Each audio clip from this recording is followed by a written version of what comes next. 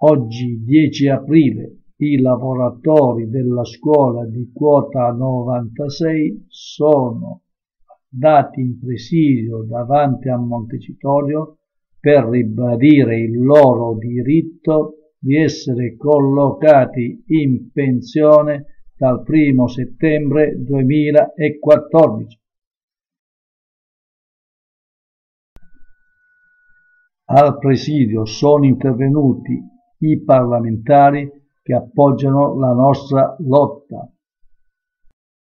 Il 14 aprile il governo dovrà rispondere in quale modo ha intenzione di reperire i fondi per risolvere la nostra situazione.